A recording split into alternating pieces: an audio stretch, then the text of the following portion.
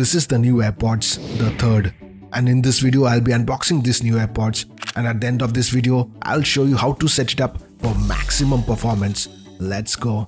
So at first glance, this looks like any other AirPods packaging from Apple. You need to pull the pull tab, one on the top and one at the bottom in order to get inside the box. Once inside, you are greeted by this envelope which contains some documents. Once that's done, you can see the AirPods in its full glory. Now remove the covering and there you have it the new AirPods third generation. So my first impression is that this thing feels solid. It feels and looks a lot like the AirPods Pro if I'm to be honest. It's got the same old lightning port for charging and speaking of charging, this case can now charge wirelessly over MagSafe. But the sad thing is, the charging speed is maxed out at 5 watt regardless whether you use a Qi charger or MagSafe. So don't buy a separate MagSafe charger just for the AirPods. An ordinary Qi charger will be just fine. And speaking of charging, the tiny light on your AirPods charging case can glow from white, orange and green. Green light, red light. And here's what the color means. So green light when AirPods are in the case means the AirPods are fully charged. Green light when AirPods are not in the case means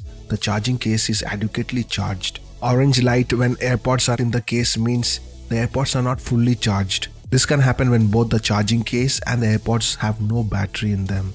Orange light when AirPods are not in the case means the charging case battery is low. Flashing white light on the charging case means your AirPods are ready to be paired with your device. You can see this light when you press the back button of the charging case or after a reset when AirPods are ready to pair. By the way, no light when you open the AirPods case means there is absolutely no charge left. This can happen if your AirPods case was left uncharged at low battery for several days. And no light can also mean something is wrong with your AirPods. Now coming to the AirPods itself, this looks so much better than the second gen AirPods. I hated how the older AirPods looked with its huge stem dangling around my ear, but the new AirPods with its smaller stem makes it look cool and more fashionable.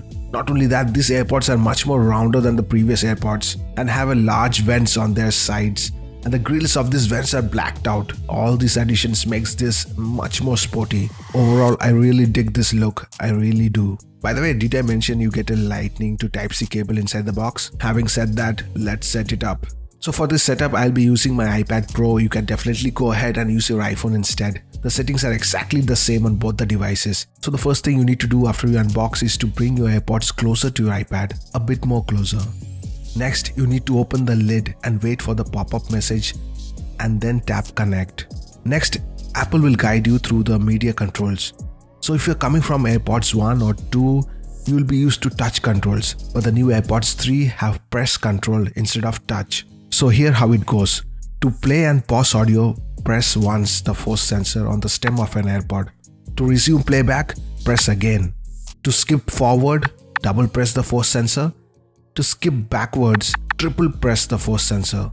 And press and hold to activate Siri. Next after the media control tutorial, you will see this announce call and notification pop up, which you need to customize. So what it does is it announces the call and reads notification to you while you are using your AirPods. So I will tap on it to activate it and if you have already set it up and later you decide to turn it off for some reason, you can do so by going back to settings, go to Siri and search announce calls, then tap on never. And for notifications to shut down completely, go back, tap on announce notifications, disable announce when connected to headphones. For all of us who have battery anxiety, which is real by the way, you can check the battery percentage of your AirPods by adding the battery widget to your home screen. And to do that, just need to tap and hold the home screen till it wiggles. Then tap the plus icon on the top left corner, then tap on battery. You can now choose the size of the widget and then add. So you want to know your AirPods warranty coverage. To do that, go to settings, Bluetooth, then tap the eye icon next to the AirPods and scroll down to check your warranty. So now in case you lose your AirPods, maybe it's under your pillow or under your bed, you can find it by going to find my app and under the device section, you will find your AirPods. Tap on it and tap on play sound. Your AirPods will start beeping and that's how you know you found your lost AirPods. Next, the main upgrade of this year's AirPods is the addition of the spatial audio and Dolby Atmos. So to enable it in the music, go to the settings, music, under audio section tap on Dolby Atmos and make sure automatic option is checked. One more thing you should know about spatial audio is that It's supported in most of the apps including Apple TV, Netflix, YouTube and it comes in two major variations with head tracking and without head tracking. And if you want to enable either one of them, you need to open control center by swiping down from top right. Tap and hold the audio meter, then tap on fixed it if you want spatial audio without head tracking or tap head tracked if you want spatial audio with head tracking. So we all know watching movies with friends and family can be a real headache sometimes, especially when it comes to volume. One will want the volume to be low and I definitely want the volume to be high. Now here comes audio sharing which comes in handy. So if both you and your friend have AirPods, then you can both connect them to the same iPhone or iPad and watch the same TV show together with different volume levels. Isn't that amazing? So to do that, go to your iPhone or iPad control center, tap the AirPlay icon from the top right and choose share audio.